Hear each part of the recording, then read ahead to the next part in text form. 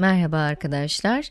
Opsiyon vadesinde bir hisse senedine ve bu hisse senedine bağlı belli bir kullanım fiyatındaki satım opsiyonuna sahipseniz, bu kombinasyonun kazanç grafiğinin, bu satım opsiyonuyla aynı kullanım fiyatına sahip olan alım opsiyonu artı, vade tarihinde kullanılan fiyatıyla aynı değerde olacak bir bononun kazanç grafiğine eşit olacağını görmüştük.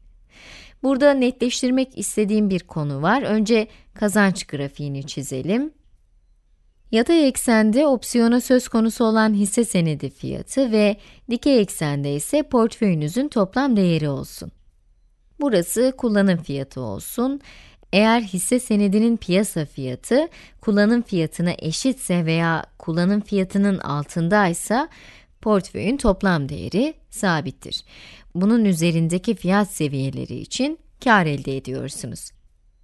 Yani hisse senedi artı satım opsiyonu aldığınızda veya alım opsiyonu artı bono aldığınızda kazanç grafiği bunun gibi görünüyor. Burada netleştirmek istediğim konu şu, bu söylediklerimiz sadece Avrupa tipi opsiyonlar için geçerli. Avrupa tipi opsiyonlar. Çünkü Avrupa tipi opsiyonlar sadece opsiyonun vade gününde kullanılabiliyor. Eğer Amerikan tipi opsiyondan bahsediyor olsaydık, opsiyonu alan taraf veya yazan taraf vadeden önce de opsiyonu kullanabilirdi ve durum daha karmaşık olurdu. Yani, opsiyonları matematiksel olarak ele alıyorsak, Avrupa tipi opsiyonlardan bahsediyoruz.